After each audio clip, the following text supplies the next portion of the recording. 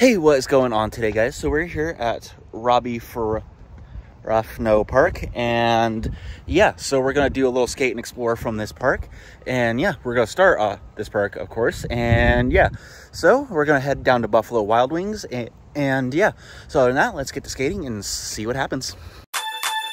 Get, get, get on my head. Get, get, get on my head. Get, get, get on my head. Get, get, get on my head. Get,